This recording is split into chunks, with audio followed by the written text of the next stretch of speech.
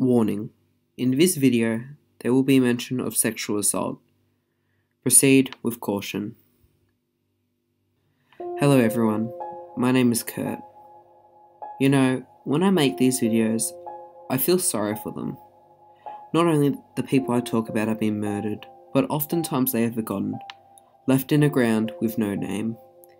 Everything they've done in their life, every person they've ever interacted with, what school they went to, the job they did, their families, kids, everything just gone in a flash.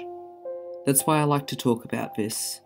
Even if their names aren't recovered, at least knowing how their stories ended can help. Anyway, let's talk about the Woodlawn Jane Doe.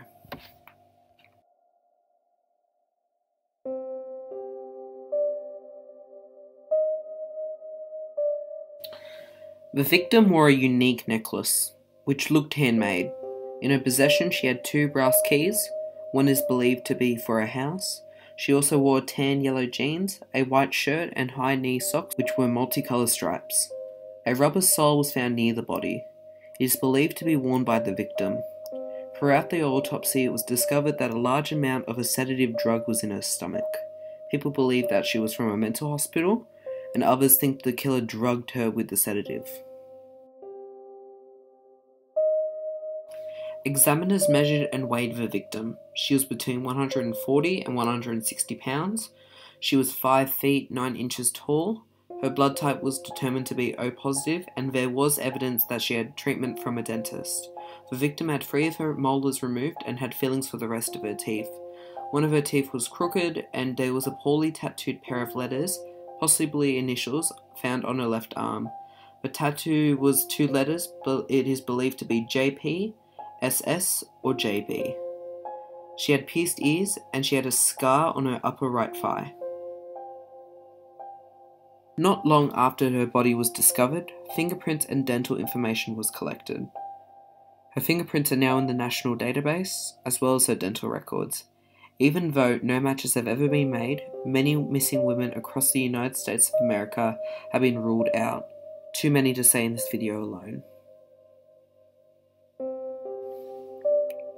A break in the case was announced in December 2015 by the National Center for Missing and Exploited Children. After Baltimore police received a tip, the explanation for the tattoo, which is believed to be JP, on her arm, was announced to possibly be the initials of a part of a city known as Jamaica Plains, where the victim may have lived.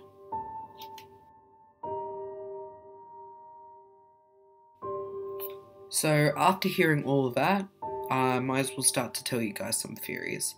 There are quite a few theories out there, but I'll tell you one of them now. The Woodlawn Jane Doe was a runaway.